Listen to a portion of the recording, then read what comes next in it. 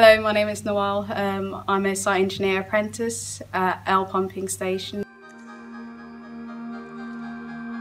During the sixth form, I've carried out a work experience provided by Construction Youth Trust. I've realised that construction is something that I really wanted to go into, and I've also learned that apprenticeships is uh, a learning style that I've really enjoyed as well. Later on gave me an opportunity to start working for the Tideway projects. I have helped complete the working platform at Earl Pumping Station. I have assisted with various other projects. I recently went back to my sixth form, um, which initially kick-started my um, curiosity into construction and into engineering and carried out a assembly with um, young members of the school.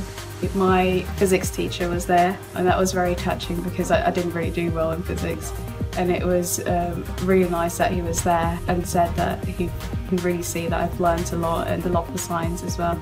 As a black Muslim woman in construction I don't really feel any different. I don't feel like I, I am treated different or not the same as everyone else. In reality, as um, all jobs really should be, if you're competent or do the best you can, it doesn't matter where you're from. There are quite a few instances where I felt very included. We have a occasional dinner club every two months or so and this time around it fell on the month of Ramadan we fast from um, sunrise to sunset but they've uh, made an effort to wait until it was time to break my fast to then eat together and I thought that was um, very thoughtful um, and very touching.